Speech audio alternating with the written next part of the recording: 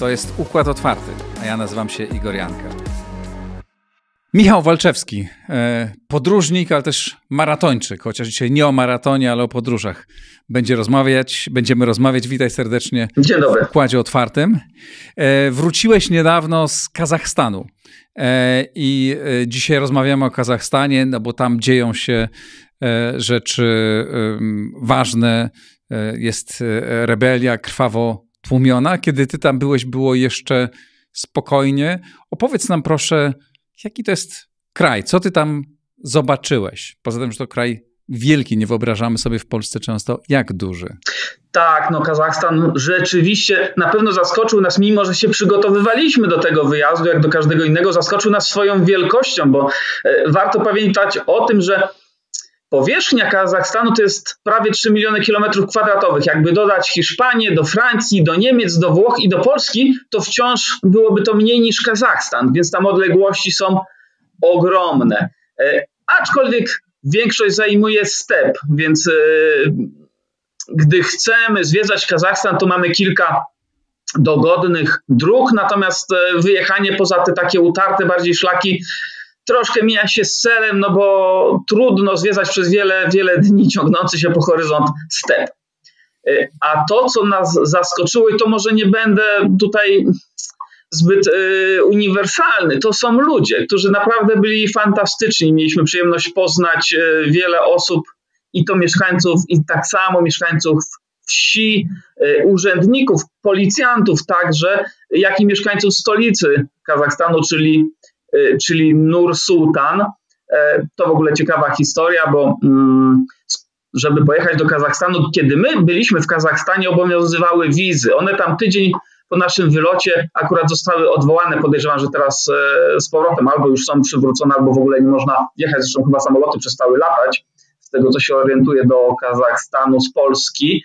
E, już w ambasadzie Kazachstanu w Warszawie, jak składaliśmy wniosek wizowy, to bardzo sympatyczna pani pouczyła nas właśnie, że nie należy używać starych nazw Nur Sultan, czyli nie Astana, nie Akmolinsk, e, nie Celinograd, e, tylko Nur Sultan, że jeżeli na wniosku źle wpiszemy nazwę stolicy Kazachstanu, to pan ambasador nam ten wniosek wizowy odrzuci. Rzeczywiście to jest taka ciekawostka. Stolica Kazachstanu w ciągu ostatnich 60 lat aż pięć razy zmieniała nazwę. I to dużo mówi o tym, co dzieje się w tym kraju, no bo Nursultan nie jest, ta nazwa nie wzięła się e, e, z niczego, ale pokazuje, jak potężną władzę, e, jak potężny wpływ ma tam jeden człowiek, który, który tym krajem zarządzał pośrednio albo bezpośrednio przez ostatnie lata. Czy, to, czy tam, będąc tam, czułeś, że jesteś w kraju, który jest zarządzany tak twardą ręką przez e, jednego człowieka, że jest kult jednostki, że, że wszystko jest wokół jednego, jednej osoby czy jednego klanu. Trudno powiedzieć to z kilku powodów. Ja miałem przyjemność podróżować i po Iranie, i po Iraku, i po mm, Palestynie, i po różnych e, bliskowschodnich krajach i podróżnik, gdy chce jednak z tych podróży czerpać sporo korzyści, nie być no tak powiem, zatrzymywany przez różne służby, to jednak takich tematów stara się unikać. E, I działa to też w drugą stronę. Osoby, które spotykamy, no nie wiedzą, kim my jesteśmy i także starają się e, unikać bieżących tematów politycznych. Bo jeżeli chodzi o historię Kazachstanu, to ci mieszkańcy bardzo chętnie z nami rozmawiali, wspominali czasy komunistyczne, wspominali e, lata 70., 80., natomiast o czasach dzisiejszych, o tym, co się od lat 90. wydarza, raczej bardzo niechętnie, raczej unikali tych rozmów, e, szybko zmienialiśmy tematy na inne.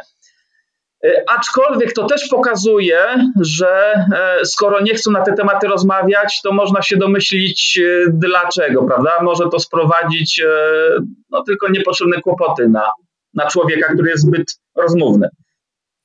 Ta rebelia, która wy, wybuchła w ostatnich dniach, ma takie no, silne podłoże ekonomiczne, e, jak rozumiem, bo zaczęło się od podwyżek, e, podwyżek gazu e, LPG. Czy tam czuć bardzo duże, widać to rozwarstwienie. E, no bo z tego, co słyszeliśmy z jednej strony, taki e, pewnie stereotyp dotyczący e, Kazachstanu, że to jeden z najlepszych, z najlepiej radzących sobie tych w tej azjatyckiej części obszarów post, postsowieckich, że jest stosunkowo nowoczesny, że te miasta wyglądają nieźle, że są tam wieżowce, więc biznes się rozwija, ale jak rozumiem, jest dosyć spora przepaść między tym tymi wielkimi miastami, ludźmi, którzy czerpią z tych dóbr, a, e, a resztą kraju i, i resztą społeczeństwa? E, Kazachstany są tak naprawdę chyba trzy, co najmniej trzy, mhm. czyli jest Nur-Sultan, nowoczesne, piękne miasto, którym naprawdę można się zachwycia, zachwycać oczy. Otwieraliśmy szeroko spacerując po no po, jakby, nie popat, jakby nie patrzeć po stepie, po miejscu, które kilkadziesiąt lat temu było stepem, a tu naprawdę super piękne wieżowce. To jest, I to jest pierwszy Kazachstan. E, drugi to jest nowoczesne miasto. Tak, nowoczesne miasto. Nie mówię, że ultra nowoczesne, ale nowoczesne. E, robiące naprawdę większe wrażenie niż e, Warszawa pod względem tych swoich wieżowców. Drugi Kazachstan to są wszystkie inne miasta. I one wyglądają tak typowo jak postsowieckie miasta e, w całej Azji Środkowej, no, w całej Azji Centralnej. No nie są ładnymi miejscami, ale jakoś tam się daje żyć. No i trzeci Kazachstan, czyli wieś. Wieś przypomina mi o, polską wieś może z lat 40. Tak to wszystko, tak to wszystko wygląda. Eee, natomiast jeszcze to co, to, co mogę na ten temat powiedzieć, to to, że w Kazachstanie, w, w Nur-Sultan, tam gdzie poznawaliśmy zwykłych urzędników, ale i, i kierowców, kierowców taksówek, oni nas się pytali, ile się w Polsce zarabia średnio miesięcznie. I my mówiliśmy, że średnia płaca w Polsce to jest 4-5 tysięcy złotych. Oni się bardzo dziwili, bo mówili, że chyba ich oszukuje, że to jest bardzo mało, im by się nie opłacało do Polski przyjeżdżać. Kierowca taksówki, z którego usług przez dwa dni korzystaliśmy, mm, umówiliśmy się z nim całkiem przypadkowym, zresztą kierowcą, z którego usług korzystaliśmy, e, czy nie chciałby nas po Nur Sultan powozić dwa dni, tak, żebyśmy nie musieli się ciągle przesiadać. I umówiliśmy się na kwotę 200 zł za dzień. On mówił, że on miesięcznie 4000 na rękę, w przeliczeniu oczywiście na złotówki, e, spokojnie zarabia. Mm, I był bardzo zdziwiony, że to tyle samo co w Polsce. Gdy poznaliśmy w jednym z pubów podczas obiadu, podczas kolacji takiej, takiej wczesnej e, człowieka, który podawał się za kazachskiego stand-upera, e, takiego komika, tak? I mówił, że on widzi, że dla niego tutaj w Kazachstanie nie ma przyszłości, a ile zarabiają stand-uperzy w Polsce, może on by się przeniósł do Polski i tutaj pracował. No i też jak powiedzieliśmy, ile się w Polsce zarabia, to był bardzo zdziwiony i stwierdził, to jemu się to w ogóle nie opłaca. Natomiast pocieszyłem go tym, że jeżeli pojedzie dalej na zachód, no bo dla nich, pamiętajmy, y, dla nich Polska jest zachodem, tak? Powiedzieliśmy, że jeżeli pojedzie do Francji, do Włoch, do Niemiec, no to tam oczywiście będzie zarabiał o dużo, dużo więcej. Ale w tych dużych miastach takie normalne zarobki są na, na poziomie Polski. Ale jak rozumiem z tego, co mówisz, wieś wygląda zupełnie inaczej. Mnie dosyć szokowało to porównanie, kiedy powiedziałeś, że centrum Nursultanu, z czego, z Nursultanu, z czego sobie nie zdawałem sprawy, wygląda bardziej nowocześnie niż centrum Warszawy, a Warszawa przecież dzisiaj wygląda jak jedno z naj, znaczy jest jednym z najnowocześniejszych miast w Europie. Ma chyba trzecią czy czwartą, jest trzecie czy czwarte w Europie pod względem liczby wieżowców e, e, wybudowanych. I to jest z jednej strony taki, taki Kazachstan, a z drugiej strony mówisz wieś Polska z lat 40. To przepaść jakaś niesamowita. To, to trudno tak opowiedzieć słowami. Ja zapraszam e, Państwa do zerknięcia chociaż na chwilkę na mojego bloga, tam znajdziecie zdjęcia właśnie e, i wsi kazachskiej, ale i, i centrum Nur-Sultan. My zupełnie przypadkowo przylatując, lądując w nocy e, na lotnisku pod Nur-Sultan, wynajęliśmy sobie jakiś taki hotel ekonomiczny. Tam doba nas kosztowała 90 zł. No i rano obudziliśmy się na 36 piętrze wieżowca, z którego się rozpościerał z okna po prostu fenomenalny, niesamowity widok na, na wschodzące słońce, na snujące się e, mgły nad miastem pełnym wieżowców i ogromnych, wielkich budowli. Bardziej to przypomina Dubaj niż Warszawę. Ale to trzeba zobaczyć właśnie na zdjęciach, żeby samemu sobie wyrobić opinię. Natomiast wieś, strony... no wieś jest po prostu biedna. Do wsi często nie prowadzą e, utwardzone drogi, gospodarstwa wiejkie, wiejskie używają traktorów pamiętających jeszcze lata 60., 70. E, jest to koszmarna przepaść. Przy czym ja nie mówię, że tam jest brzydko, że tam jest nie wiadomo jaka bieda. Tam są po prostu ograniczone potrzeby tej ludzkości, ale też pamiętajmy, że na przykład paliwo. Trzy miesiące temu nie wiem, ile kosztuje w tej chwili paliwo po tych podwyżkach, które chyba zostały wycofane, ale gdy my podróżowaliśmy, paliwo 90 etylina 92 kosztowała złoty 50 za litr, a 95 kosztowała złoty 88. Więc my pełen bak samochodu, który wynajęliśmy, tankowaliśmy poniżej 100 zł. Naprawdę dla mnie to były fenomenalne ceny. Biorąc pod uwagę, że przynajmniej w miastach zarabia się podobnie co w Polsce, no to gdzieś tam wydamy więcej, gdzieś zaoszczędzimy. To z czego wynika ten, e, ten bunt? No bo z jednej, jak rozumiem, ten bunt nie, nie, nie wybuchł, bo zwykle nie wybucha na wsiach, prawda, tylko buntują się e, miasta, buntują się ludzie e, mieszkający w miastach. Ja rozumiem, że ten bunt się tam rozlewa. Z czego tak, tak nagła, tak silna wściekłość się znalazła tam? Nie wiem, ja powiem, że byłem bardzo zaskoczony, gdy właśnie kilka dni temu zobaczyłem, co się, co się dzieje, przeczytałem artykuły, co się dzieje w mojej opinii, tylko że ja nie jestem e, zbyt uprawniony do tego, żeby oceniać procesy zachodzące w Kazachstanie, bo po prostu ich nigdy nie śledziłem. Gdy byłem na miejscu, wszystko było spokojnie, wszystko e, wyglądało bardzo dobrze. Żadnych napięć takich na ulicy e, nie, nie zauważyłem, a widziałem różne rzeczy i w Indiach demonstracje i, i, i jakieś mniejsze czy większe zamieszki na Bliskim Wschodzie. E, Kazachstan, naprawdę ja się czułem tam bardzo bezpiecznie. Wracaliśmy nad ranem do hotelu, wszyscy ludzie zawsze byli uśmiechnięci, aczkolwiek trzeba pamiętać, że z tych niektórych tematów oni uciekali. No i na pewno trzeba też pamiętać o tym, że mimo wszystko jest tam, e, to społeczeństwo jest rozbite na Rosjan i na Kazachów. Prawda? Ja nie zauważyłem e, relacji pomiędzy tymi grupami. No ale to o tym muszą, myślę, już opowiadać osoby mądrzejsze i bardziej tak politycznie zaangażowane w, tamtki, w tamten region niż ja. Czuć tam silny wpływ Rosji? Ci Rosjanie, których poznaliśmy, e, bardzo się separowali od Kazachstanu.